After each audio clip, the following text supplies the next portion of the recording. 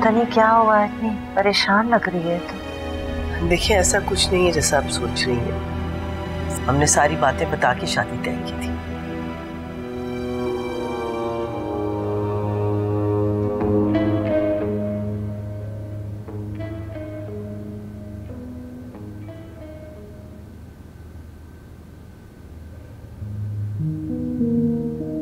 अस्सलाम वालेकुम।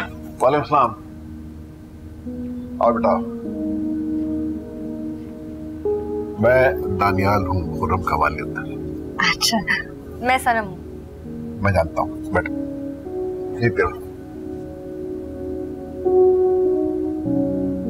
आपने बताया ही नहीं कि आप आ रहे हैं? आ, मैं तुम्हें सरप्राइज़ देना चाह रहा था।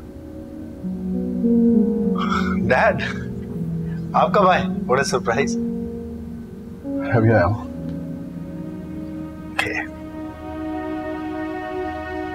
फिर? कैसी लगी आपको? आपकी पसंद। I am proud of my choice my son और मुझे पूरा यकीन है कि सनम इस घर को भी संभाल लेगी और तुम्हें भी।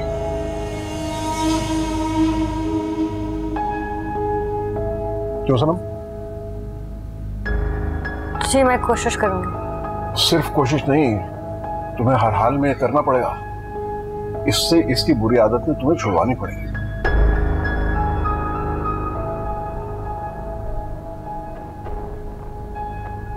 सनम डैड के लिए कुछ खाने का अरेंज करवा दो। जी।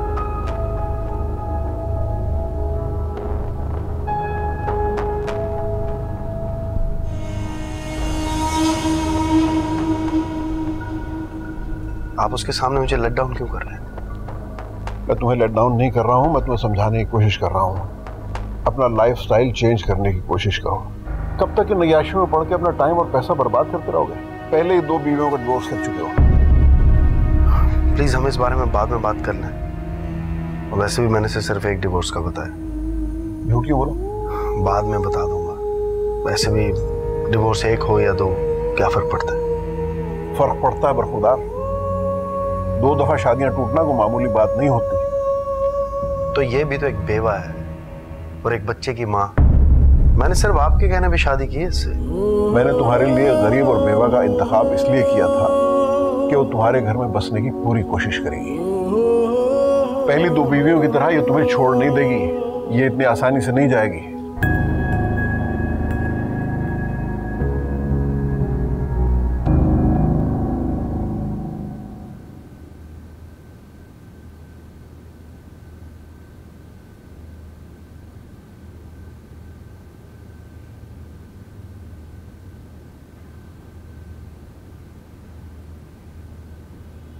तुम खाने पर नहीं आई?